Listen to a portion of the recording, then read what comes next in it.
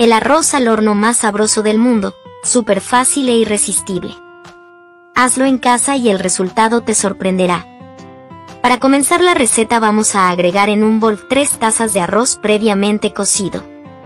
Ahora vamos a añadir una lata de maíz dulce. También una zanahoria ya pelada y rallada, por el lado más fino del rallador. Una taza de jamón picado en cubitos pequeños. Vamos a añadir una taza de queso mozzarella rallado, puedes usar el queso de tu preferencia. Media taza de cilantro picadito y un cuarto de taza de cebollín picadito. Ahora mezclaremos estos ingredientes.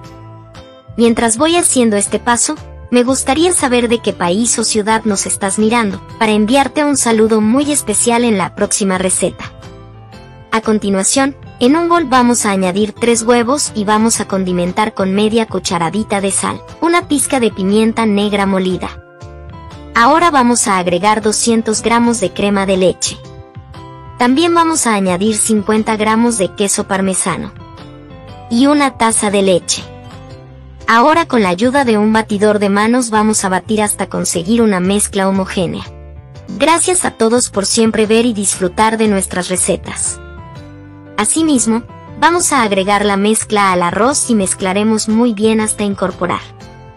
Si es la primera vez que ves una de mis recetas, al finalizar te invito que nos dé tu punto de vista, qué te pareció la receta de hoy.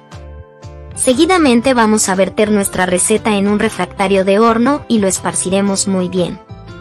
Amigos les recomiendo hacer esta exquisita receta con arroz, queda realmente deliciosa, sé que les va a encantar el resultado y para finalizar vamos a agregarle queso mozzarella al gusto.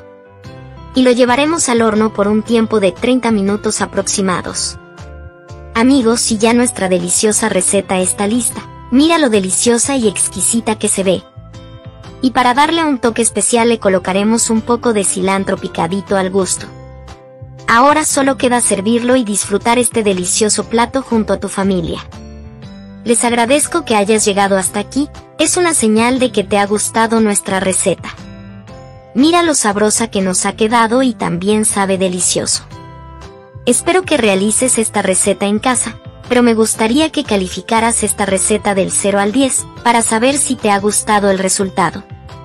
Si has llegado viendo esta receta hasta aquí, déjame la palabra, deliciosa receta, para saber que viste la receta hasta el final.